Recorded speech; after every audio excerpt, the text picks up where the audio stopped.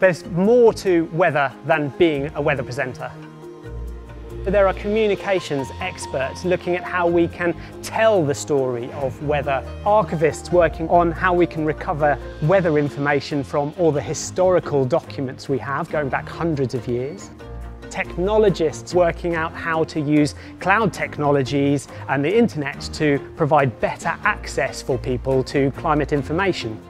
The skills that are needed for a career in meteorology can be quite varied. Science, technology, engineering and mathematics are really important, but we have people looking at the social sciences, the arts and everything in between.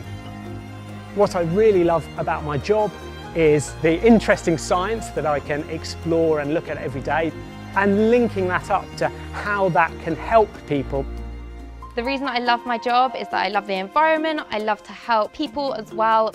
I'm really proud to work for the Met Office because of the vital role that we play in keeping our community safe.